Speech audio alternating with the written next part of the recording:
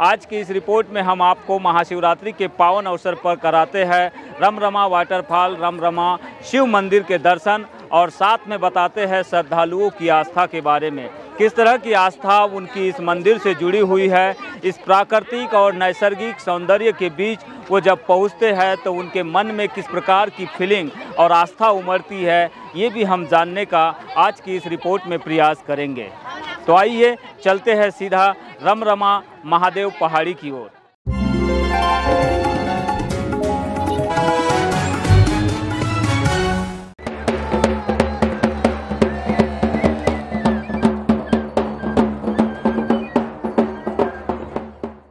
ग्राम से नंदी महाराज की सवारी आ गई है।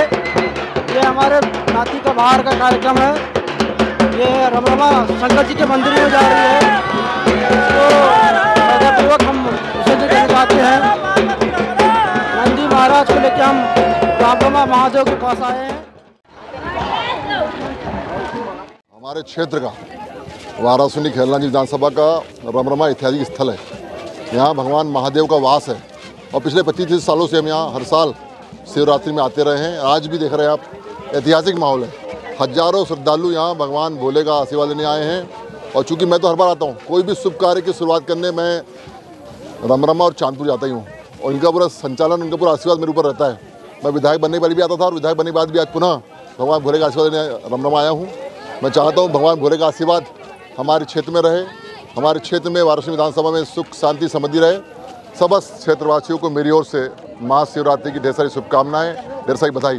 और हमारा प्रयास होगा इस स्थल को हम और ऊपर उठाने का प्रयास करेंगे कि लोग आज देख रहे हैं, आज बहुत भीड़ है। आज यातायात में अवस्था हो रही है। अगली बार हम प्रयास करेंगे प्रशासन के साथ बैठ के कि अगली बार यातायात में व्यवस्था ना हो, सुचारू व्यवस्था हो, लोगों को आसानी से भगवान भोले के दर्शन हो।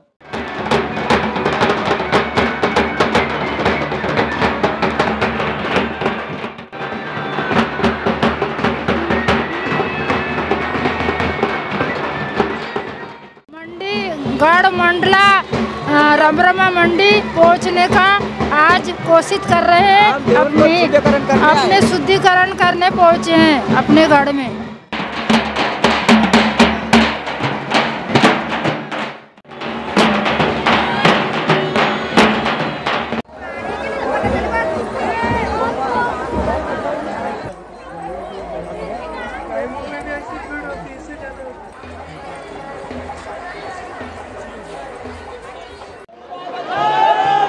तो रमरमा महादेव टेंपल में हम थर्ड स्टेज पर पहुँच चुके हैं, यानी कि तीसरे पायदान पर पहुँच चुके हैं। और तीसरे पायदान पर यहाँ पर भगवान भोलेनाथ, यानी कि महादेव जी की यहाँ पर गुफा है। और इसी गुफा में भगवान शिव जी की पिंडी होना बताई जाती है।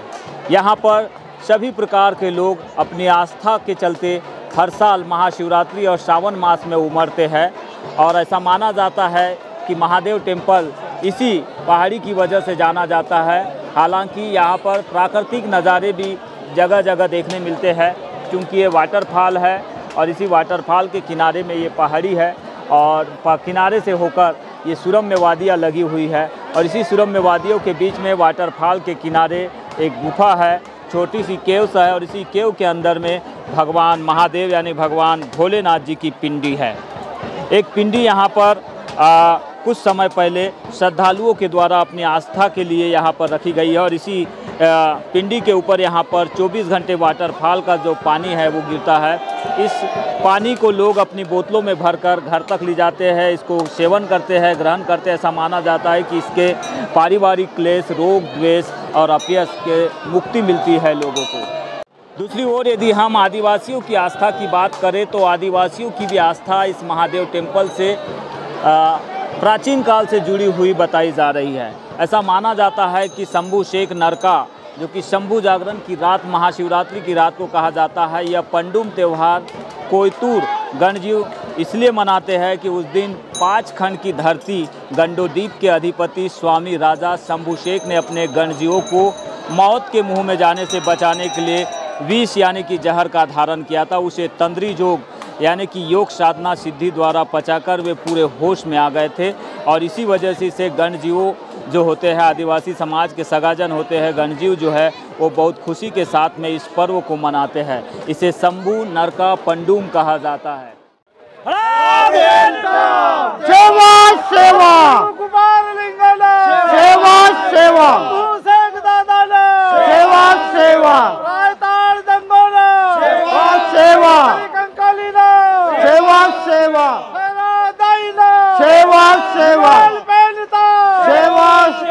खिला मुठा दादा ना।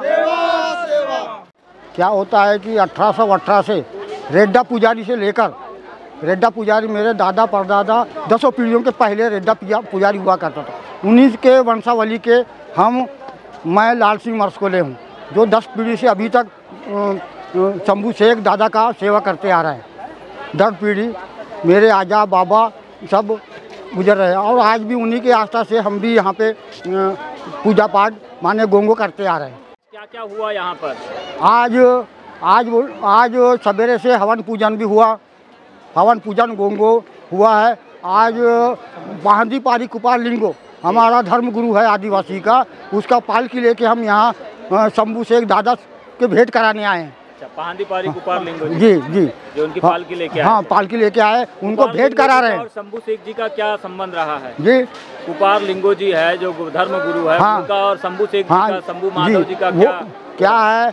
हमारे आदिवासी शंभू जो हैं उनके प्रधान मानते हैं उनको। प्रधान। प्रधान। जो ताल सुर हमको ज्ञान सिखाया है आदिवासियों को।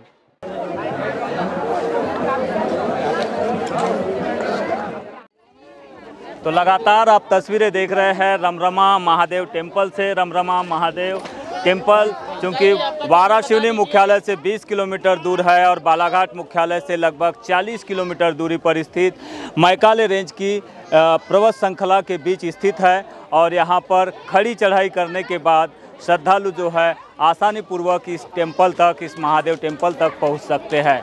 इसके ऊपर भी आप देख सकते हैं, श्रद्धालु यहाँ के नैसर्गिक और सुरम्य वातावरण का लुत्फ उठाने के लिए, आनंद उठाने के लिए चढ़ाई करते हुए दिखाई दे रहे हैं। तो ये लास्ट स्टेज है और श्रद्धालुओं में काफ़ी उमंग है, उत्साह है। आज महाशिवरात्रि का पर्व है, इसके चलते श्रद्धालु काफ़ी आस्थावान भी बने हुए हैं। तो लगातार तस्वीरें आप महादेव टेंपल से देख रहे हैं, रमरमा वाटरफॉल की ये तस्वीरें हैं और यहाँ पर लोग बड़ी संख्या में पहुँचे हुए हैं। तो कुछ इस तरह की मान्यता है इस महादेव टेंपल के प्रति। सभी प्रकार के लोग यहाँ पर पहुँचते हैं और शिव, महाशिवरात्रि का पर्व होने के चलते आज श्रद्धालुओं की जो भीड़ यहाँ पर आज काफ़ी तादाद में दिखाई दे रही है। वैसे तो यहाँ पर श्रद्धालु जो है बारह महीने हम कह सकते हैं कि यहाँ पर, यहाँ के नैसर्गिक और सुरम्य वातावरण का लुत्फ उठाने के लिए पहुँचते हैं, लेकिन आज महाशिवरात्रि का पर्व है, इसके चलते श्रद्धालुओं की भीड़ यहाँ पर कुछ ज़्यादा ही नज़र आ रही है।